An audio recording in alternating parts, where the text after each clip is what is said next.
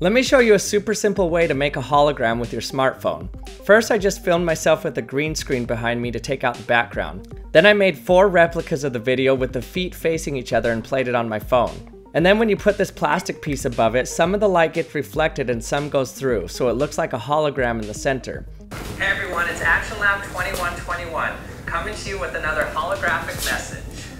This same illusion has been used for over a hundred years. It's the illusion that's used in Disney's Haunted Mansion as well to make the ghosts. What you're seeing here isn't actually a 3D image, it's still a 2D image. If you walk at different angles to it, it still looks like a 2D image. It's not like you can see what it looks like behind me. When you spin it around, I'm still facing forward. If you want something to appear more 3D, you can use parabolic mirrors like this. It sure looks like it's here, but it's not. In fact, it's down here.